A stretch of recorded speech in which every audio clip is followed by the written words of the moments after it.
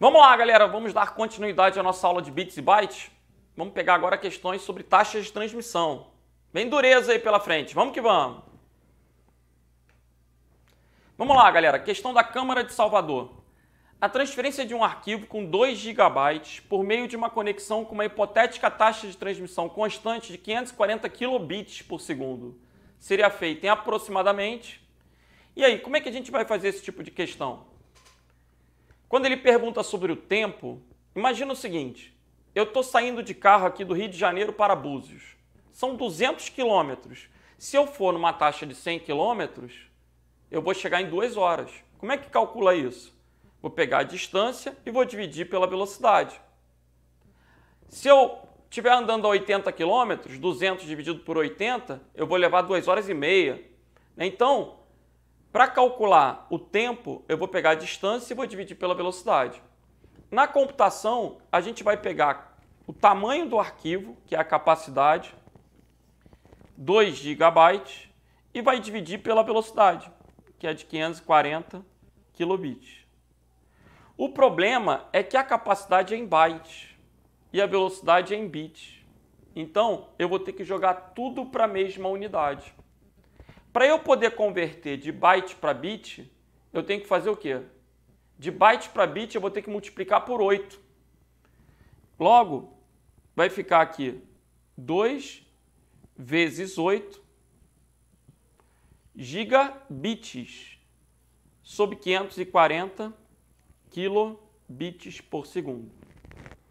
2 vezes 8 dá 16. Então eu tenho 16 gigabits para dividir por 540 kilobits por segundo. Agora, tem que estar tá tudo na mesma unidade. Em cima eu tenho giga, embaixo eu tenho quilo. 16 gigabits são 16 bilhões, 16 mil, 16 milhões, 16 bilhões de bits por segundo, de bits. Enquanto 540 quilos são 540 mil bits por segundo. Galera, o que, que eu posso fazer aqui de cara? Cortar esses três zeros com os três zeros de cima, cortar esse zero com o zero de cima. E aí vai ficar, olha comigo aí, ó.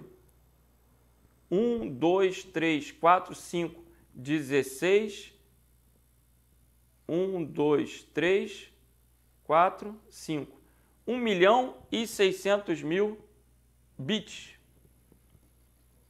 divididos por 54. Bits, eu cortei bits com bits. Então, eu já sei que o resultado disso vai ser o quê? A quantidade de segundos. Essa vai ser a resposta. Só que 1 milhão e 600 por 54 ainda é uma conta chata de fazer, né? Então eu vou tentar simplificar, vou dividir por 2 e dividir por 2. Vai dar 800 mil divididos por 27. Ainda é chato. Mas vou ter que fazer a conta, não tem jeito. Vamos lá. 800 mil 800 mil dividido por 27. Dá 29.629. 29.629. 29.629 segundos. É a resposta. Qual o problema? A gente não tem a resposta em segundos. A gente tem a resposta em horas. Então, vou ter que converter de segundos para horas. E como é que eu faço essa conversão? Dividindo por 60. Né? Quando eu pego esse 29,629 e divido por 60, eu acho uma quantidade em minutos. São 493 minutos. 493 minutos, eu vou dividir de novo por 60. E aí vai dar 8,23 horas. 8,23 horas. Galera, aproximadamente 8,23 está mais próximo de 9 horas do que de 7 horas. Então o gabarito vai ser o que? Letra E. Né? Aproximadamente 8,23, 9 horas. Gabarito letra E. Esse é o gabarito da banca. Agora, a questão é muito difícil, não tenha dúvida. Não tenha dúvida. Né? Mas pelo menos você tem que saber por onde começar para fazer. E decidir. Bom, essa de 2018 foi muito difícil. Vamos ver as outras? Vamos. Vamos para o TJ da Bahia. Há uma taxa de transmissão regular e constante de 4 megabits. A transferência de um arquivo de 6 gigabytes toma um tempo aproximado de. Qual vai ser o esquema? 6 gigabytes dividido por 4 megabits por segundo. Lembrando que aqui eu tenho byte para capacidade, embaixo eu tenho bit para velocidade. Então, o que, que eu vou ter que fazer? Passar tudo para a mesma unidade. Então, vai ficar 6 vezes 8 gigabits, divididos por 4 megabits por segundo. Então, passo a ter 48 gigabits, divididos por 4 megabits por segundo. Só que ainda está em cima em giga, embaixo em mega. O que, que eu vou fazer? Vou multiplicar por mil e vão ficar 48 mil megabits divididos por 4 megabits por segundo. Aí eu consigo cortar o megabit, vou deixar só o segundo, e 48 mil é divisível por 4. Né? 48 mil vai dar 12 mil segundos. Essa, ainda que os números sejam grandes, os números são divisíveis, a questão ficou muito mais fácil. O gabarito aí é o quê? 12 mil segundos. Professor, mas não tem essa resposta. Aí você pega 12 mil e divide por 60. 12 mil dividido por 60. 1.200 por 6 vai dar 200 minutos.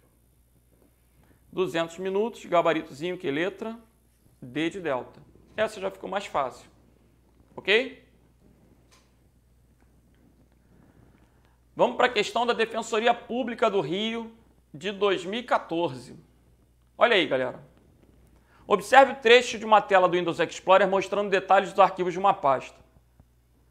Numa conexão de internet estável com velocidade nominal de 16 megabits, essa é a velocidade. O tempo de transmissão do arquivo será em torno de quanto? Em torno de.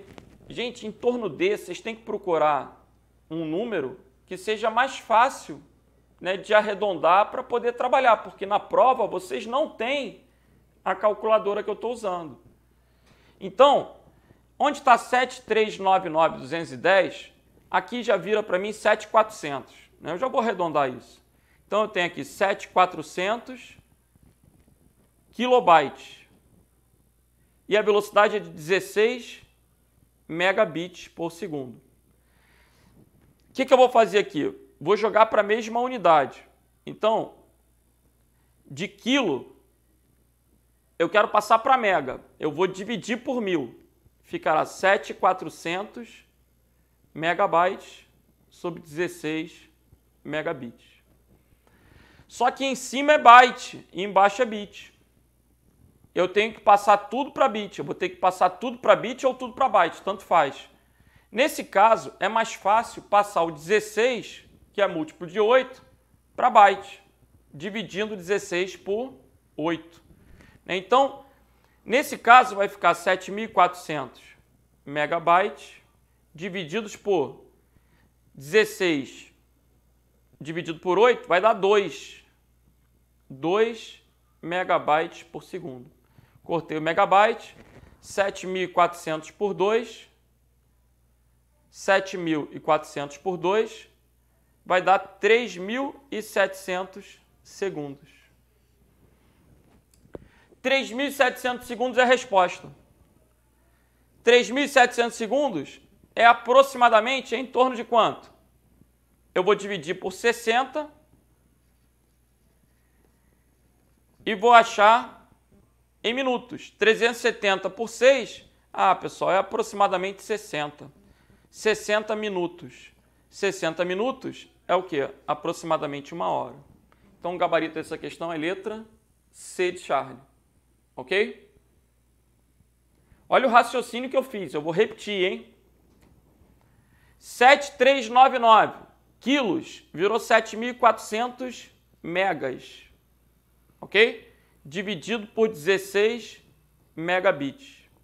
Só que 16 megabits, se eu divido por 8, é a mesma coisa que 2 megabytes.